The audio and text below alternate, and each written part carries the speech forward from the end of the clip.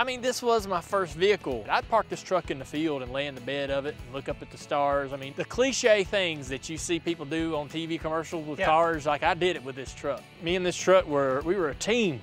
I'm hungry.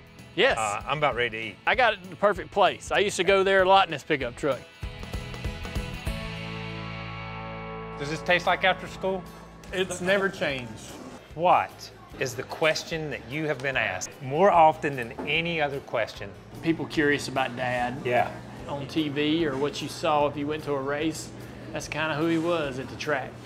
So dad won seven championships. And as I realized that that, you know, seven titles or anything like that was not going to really be what my mark was going to be, I had to figure out another way to leave it. Hey, I'm Dale Earnhardt Jr. Catch me on an episode of Dinner Drive with Kyle Petty on Circle.